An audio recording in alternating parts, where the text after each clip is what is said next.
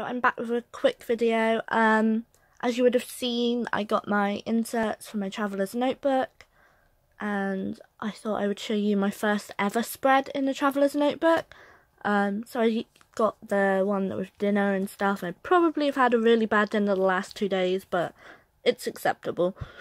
Um, so we've got loads of different stickers, Bluebels Planning, Ickle & Co, uh, Planners in Crime, who else we got? Little Friendly Designs and Little Thought Store, The Plump Planner, and I can't remember who this banner is from. If anyone knows, please let me know because it is really cute. Um, but apart from that, this is all I really wanted to show you.